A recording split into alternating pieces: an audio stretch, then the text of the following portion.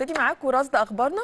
دكتور علي مصلحي وزير التموين والتجارة الداخلية أكد بالأمس إنه ما فيش زيادة في أسعار السلع المدعمة على بطاقات التموين وهيتم توفير ما يقرب من 30 سلعه على البطاقات بأسعار مدعمة. السكر ب 12 ونص وزيت الطعام ب 30 جنيه والرز ب 12 ونص. بجانب توفير العديد من السلع الأخرى وقال إنه جميع السلع متوفرة بكميات كبيرة ولا زيادة في الأسعار. وطمن كمان دكتور علي مصلحي وزير التموين آه، المواطنين بتوفير جميع السلع الغذائية والتعاقد على كميات من رؤوس المواشي الحية عشان يتم طرحها آه، بمنافذ المجمعات الاستهلاكية وفروع الشركات التابعة على مستوى آه، محافظات الجمهورية بأسعار مخفضة إلى جانب توفير مخزون استراتيجي من كافة السلع الاساسيه بتكفي احتياجات المواطنين لفترات طويلة.